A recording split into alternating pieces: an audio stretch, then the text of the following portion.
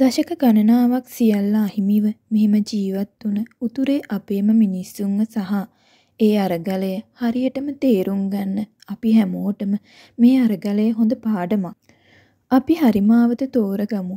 අරගලයත් එක්ක මුල ඉඳන්ම උන්නු කෙනෙක් තමයි සමන ලී කියන්නේ. පසුගිය දවස්වල හැමෝගෙම මුවක රැවුදුම් උණුසුම් මාතෘකාව වෙන්නෙත් අරගලයනේ. ඔන්න ඉතින් එහෙම අරගලයට ගිහින් එන අතරතුර සමනලී හරි අපූරු ෆොටෝ එකක් අරන් තිබුණා. ඒ ෆොටෝ එක මුහුණු පොතේ පළ කරමින් ඇය මේ විදියට සටහනක් එකතු කරලා තිබුණා. පෙරේදා ඓතිහාසික අරගලේ මහන්සිය නොබලා ඊයේත් අරලියගහ මන්දිරයට ගියා. එතනට එන ජනතාව එක්ක සින්දු කියන්න. එතන ඉඳන් අරගලයට ආපු තවත් ගොඩක් අය එක්ක පයින්ම යන්න පිටත් වුණා කැස්බෑවට. මගදී වාහන තුනක් අපිව මගින් මගට දාගෙන ආවා. ඒ හැමෝටම ස්තුතියි.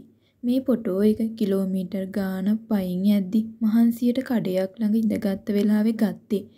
එතන තිබ්බ මල් ගහකින් මේ වතු සුද්ද මල කඩා ගත්තේ. මහන්සිය අමතක කරන්න. මෙහෙම ගෙවිලා යන්නේ අපේ ජීවිතවල හොඳම කාලේ. අපේ සාරය, අභිමානය, සුව පහසුව, සතුට. ඒත් ඊළඟ පරම්පරාව මෙහෙම පාරට ඇදලා දාලා අතහැරලා විනාශ කරලා දාන්න දෙන්න බැහැ. අරගලය වෙනුවෙන් වචනකින් හරි අවංකව දායක වුණු මිනිස්සු ගැන පුදුම සතුටක් තියෙන්නේ.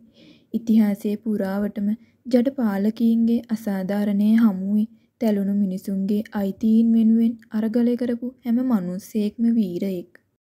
දශක ගණනාවක් සියල්ල අහිමිව මෙහෙම ජීවත් වුණ උතුරේ අපේම මිනිස්සුන්ව සහ ඒ අරගලය හරියටම තේරුම් ගත්ත අපි හැමෝටම මේ අරගලය හොඳ පාඩමක්. අපි හරි මාවත තෝරගමු. බලය තියෙන්නේ ජනතාව ළඟ මිසක් කාලකන්නි පාලකයෝ ළඟ නෙමෙයි. අරගලයට ජය වේවා.